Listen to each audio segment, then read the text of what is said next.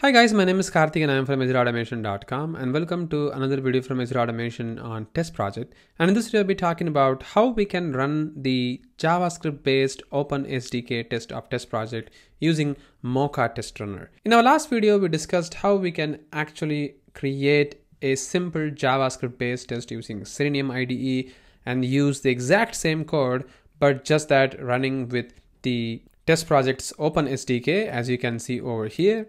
That was super simple, right? We just copy pasted the code which was generated and it was just working fine without any problem. And we used the async method to run the test using Node and everything was working as expected.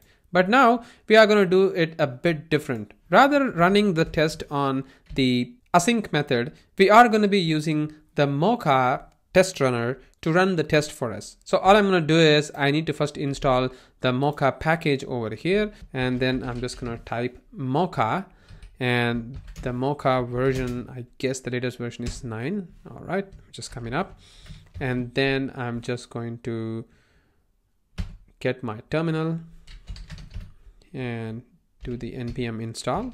And I also forgot to install the typings of the um, Mocha so that I get the nice IntelliSense. And let's do an npm install again. And now we need to add the Mocha based test over here. All I'm gonna do is I'm just gonna call this as probably first mocha test.js. I'm just going to pretty much copy some of the code from here like these. I'm gonna paste it over here and I'm gonna start typing this describe and you can see that this is coming from the mocha for us and you can see that it's automatically writing things for me. And again these are all coming from the github's copilot. And I'm just gonna say async. So this is the async function over here. And I'm just gonna leave this guy as it is. And I'm gonna say let driver because I want to write a WebDriver based code over here. And I'm gonna call the before each of an async function.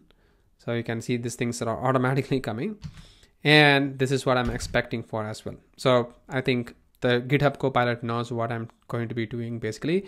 So it's coming up for me automatically. I'm just gonna do an it uh, and I'm gonna be writing something like should perform simple operations. And now the code which I'm to be copy pasting is to be pretty much exactly the same from here so you can see that now we have a describe block.